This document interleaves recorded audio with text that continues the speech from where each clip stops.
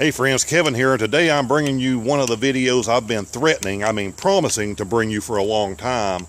Now that I finally have these two vans in the same place.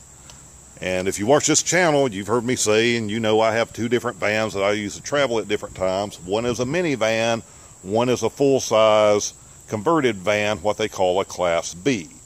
And I have some people out there, audio, and some other subscribers that have been looking forward to this video and me show being able to show some real differences. And the reason for this tape measure is to show you exactly what the dimensions are and what the difference are going to be in using these to travel. So let's get to it.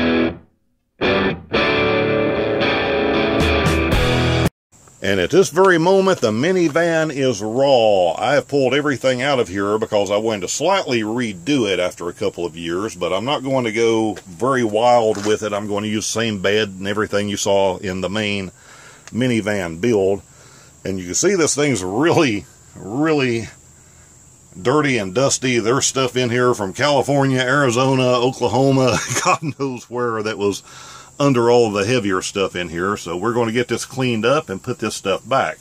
But with this wide open, I can do a good job of showing you exactly how much space you have in the minivan compared to the big van. All right, thanks to my trusty cameraman, Ernie. Say hi, Ernie. Hey, give me just a second. I've got this control figured out. Okay, gotcha. You are a tad over five foot which gives you 60 inches. The mattresses I use in a full-size mattress, if you go that route, it's going to be about 54 inches wide. So that is perfect for dropping into a minivan if you're doing it for two people. With minivans, you're going to have these wheel wells to contend with, and this is going to take up some of your space. Okay, now the important part is the wheel wells because you're going to have this in any minivan and this is going to take up some of the space we were dealing with side to side. So you are in all of these four foot, just over four foot.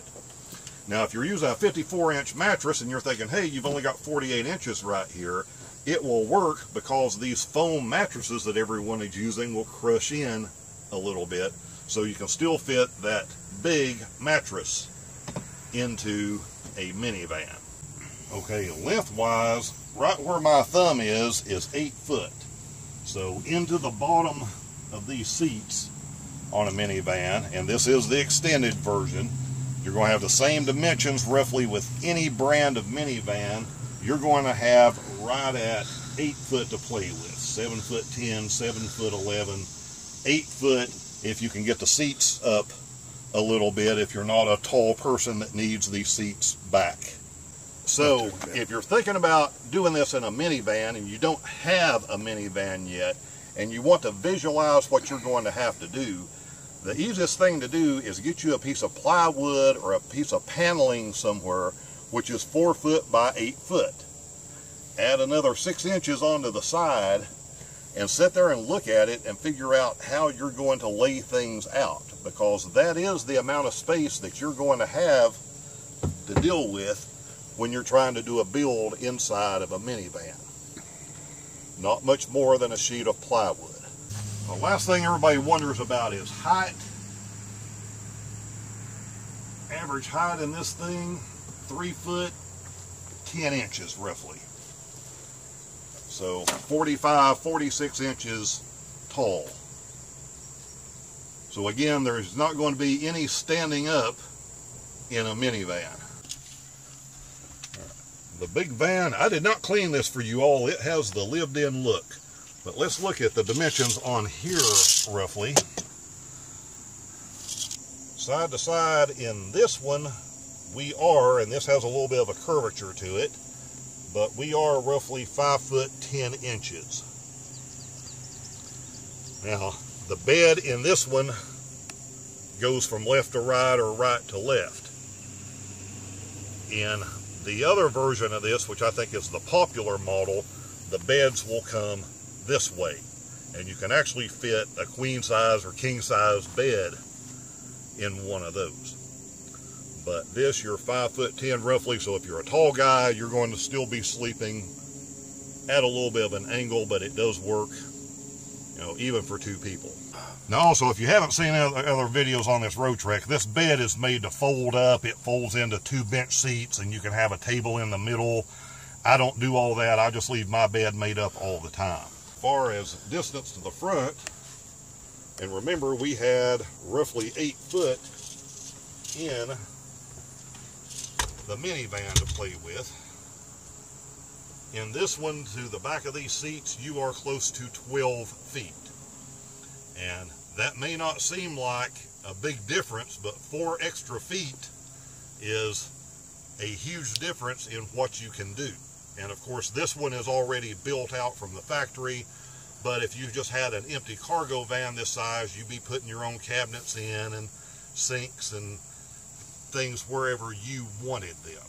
So this still gives you an idea of what the dimensions would be on a 19 foot van, cargo van. Height on this thing where you can stand up and walk around is roughly 5 foot 11 inches. And of course it has a high top. One reason it gets that also, and you may not be able to see on the camera, which is fine, but the center part of this floor, what they do in these Roadtreks, it's actually dropped about four inches. That's how they get the extra height to be able to give you room to stand up in here. What about the the working area from here to here? This little aisle, just because of the way this is laid out, because you have your bathroom stuff in here, your sink over here, your walkway here is right at 30 inches, which is about the size of walking through a interior door of a house. So two people can pass each other here. One may have to turn sideways, but it is possible for two people to be able to pass each other and go back and forth here. Now the advantages to these bigger vans is you generally have a captain's chair that will swivel. So being able to sit here and look back through this van, it just makes things seem much more open. And that's generally an advantage you don't have in a minivan with being able to swivel these front seats around. Everything's a trade-off. The more space is great, but remember your gas mileage is going to suffer a lot compared to a minivan. You're going to have places you can take the, that minivan that you simply can't take this larger van or fit it into. As we've discussed in other videos, everything is a trade-off. It's the choice that you're happy with and will give you the level of comfort that you can live with while you're on the road.